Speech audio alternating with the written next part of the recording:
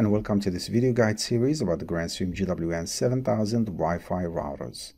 In this series, we will cover many aspects of deploying, configuring, and maintaining GWN routers so you can obtain the knowledge needed to manage and maintain them.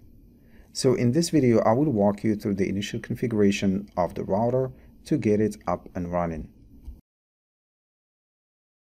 Before we get into the connection and configuration of GWN routers, I just want to quickly introduce the two Wi-Fi routers Grandstream currently has. And these are designed for small offices and remote workers. The first model is the Wi-Fi 6 compatible router GWN 7062. It offers dual band Wi-Fi connections and it has four individual internal antennas. It includes an embedded controller that can manage up to 50 GWN access points. For wired networking, GWN 7062 comes with 4 gigabit LAN ports and a gigabit WAN port. The LAN port number 4 can be set up to work as a WAN port in case you need to have a secondary WAN connection. A GWN 7062 router can be set up to work as an IPsec or OpenVPN server. You can also use it as a client for the VPN protocols IPsec, OpenVPN, PPTP, and L2TP. The second model is the Wi-Fi 5 compatible router GWN 7052, which comes with four individual external antennas. It has pretty much the same features as GWN 7062, but with lower capacity, and there is only a single port for WAN connection. Deploying a GWN Wi-Fi router in a network is very straightforward. First, use the provided power supply to plug into an electric outlet. Then connect the router to the modem supplied to you by your service provider. So basically you take an Ethernet cable and you plug it into the WAN port of the GWN router and the other end you plug it into one of the Ethernet ports on the modem or the gateway, whichever you are using. To provide connection to your wired network, you plug a switch or a hub into one of the LAN ports on the GWN router. You can also connect a computer or an IP phone directly to any of the LAN ports. By default, all LAN ports are enabled on the GWN router. The LED lights on the GWN router tell you if it has power and if the interfaces are active and communicating. So the front panel of the GWN router has LED indicators for power and interface activities. So the LED light for an interface will always be off if there is nothing plugged into it. Flashing LEDs indicate there is activity on the interface. The LAN ports will have flashing white and the WAN port uses flashing blue. By default, Wi-Fi is enabled on the GWN router, so after the router powers up, the Wi-Fi LED indicator should have a solid white. The power indicator also uses its own patterns and colors as described here. GWN routers have an embedded web server that allows you to configure the device through a web browser. You can connect to the web interface of the router through Wi-Fi or wired connection. By default, the GWN router uses the IP subnet 192.168.80.0 and the subnet mask 24. When you connect a computer to one of the LAN ports of the router, it should get an IP address from that subnet. You can also connect a computer through Wi-Fi using the default SSID and Wi-Fi password. This information is printed on the barcode label. Just keep in mind that each router will have unique SSID and Wi-Fi password. Also, it is important to note that the default SSID and password will get overwritten when you add the router to the Grandstream Cloud Management Platform, GWN.Cloud. The SSID provisioned by GWN.Cloud will be GWN-Cloud, and you need to have access to your GWN.Cloud account to get the password for that SSID. To log into the web interface of the router, you just open a web browser and type in the IP address 192.168.80.1 in the search bar. So after you enter the IP address and hit enter, you will get the login page, and that is where you need to enter the login password which is printed on the barcode label. That same Wi-Fi password, we use it to connect to the default SSID and to log into the web interface of the router for the first time. So when you try to log in for the first time, it will prompt you to change the default password. So I'm going to enter a different password. Just make sure that the password is a strong password that includes letters, numbers, and special characters. Then save. So after you change the password for the first time, it will prompt you to use the quick internet configuration or you can skip it. So let's just take a look and see what kind of information is available under the quick internet configuration. So one of the options is you set the region and the time zone. I can change that one, for example, to Eastern time instead of Central time. Next, there is the internet settings for the WAN port. So I'm just going to leave it as default. And the SSID, we can just leave that one as a default. I'm going to show you later using the Wi-Fi configuration pages how to modify the SSID settings. So it will ask us to log in one more time.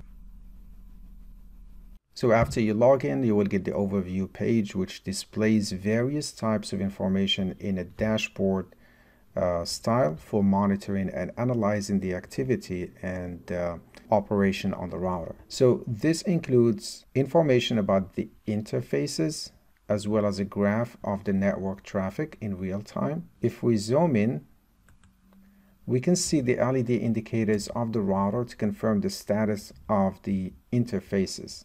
The dashboard also gives you information about the access points controlled by the router, as well as the clients connected through Wi-Fi and wired connection. And here it shows the notifications. For example, earlier we changed the root admin to log into the router. So it's going to provide us with an entry regarding that change. As we explained earlier, by default, the GWN router uses the IP address 192.168.80.1 with the port 443 port for HTTPS. If you need to make changes regarding the web access, like changing the password and the port number used for web access, you go to System Settings, Security Management, enter the current password, then enter the new password, save the setting. By default, the router is using port 443 for web access. If you need to change that one, you can change it from here. Uh, there's also the option of web WAN port. So by default, if you try to log into the web interface from the WAN side, you will get blocked. So if you want to enable web access through the WAN port, you can check this option. SSH by default is enabled. Uh, another option is passwordless remote access because GWN router is supported on the GWN cloud. So when you add it to the GWN cloud, it provides you with an option for remote access. If you want to skip the authentication process, when you log in from GWN.cloud, you can enable this option. And basically what it does when you go to your GWN.cloud and you click on remote access, it will log in automatically for you to the web interface of the router. So when you go to system info under overview, it will show you some information like the system time, the MAC address, and also the system version, which is the firmware version. It will show you the model name of your router. So if you need to change the system time, we go to system settings, basic settings. So here I am using the Eastern time zone. If you happen to be on a different time zone, you can change it from here. This is the default NTP server used by the router. If you have your own NTP server or if you want to use a different one, this is where you configure it. As I showed you earlier, the LED indicators on the router are enabled by default. If you want to turn off these LEDs, you can set it to always off or you can enable them based on a schedule that you define here. So you can create a schedule and you can for example, configure it during office hours or disable it during office hours. It depends on your requirements. Under the system info page, uh, you can verify the firmware version that is running on your router, which is the system version. To verify if you are running the latest firmware version, you can always go to the GrandStream website. So basically go to grandstream.com and under support, click on firmware. Then it's going to show you with the list of the latest firmware versions. So you're going to look for your model. So we are using GWN 7062 and the latest version is 1.0.5.38. So that's the same version that I have here. So if you happen to be running an older version and you need to upgrade your router, first of all, I recommend that you read the release notes. Sometimes it has some information or some instructions that you need to follow. All right, so to upgrade your router, we go to system settings and then we select upgrade. You can use the manual upload of a firmware file and the way you do that, you go back to the Grandstream website. So we click on the latest version. It's going to download the file in a zip format. So we need to unzip this format to get the binary file. So I'm just going to open the folder. All right, so I come here. I'm going to just say extract all to the same file. So now I have the file saved in this folder. To upgrade the router, we just go to upload firmware and we need to upload the bin file. Then just click on open to upload the file. So once you do that, the router will upload the firmware file and then it's going to start doing the upgrade process. But since my version is the same as the latest version, that's why it's prompting me with this message. So I'm just going to say, I know.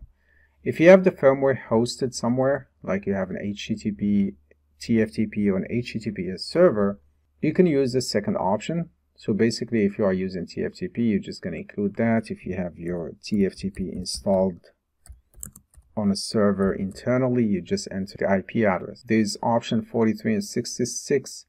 Uh, you can send actually the link for the firmware server path through your DHCP options. Uh, the next option is the check download new firmware at boot up. So this one is set to on. So every time the, the router reboots, it's always going to check whether it has the latest firmware version. And the file that it's going to check is the one that you have configured under the firmware server path. The next option is detect new firmware version. So if you want to use that one, uh, you must have the firmware files available on your server, or you can simply use the Grandstream website, which is firmware.grandstream.com.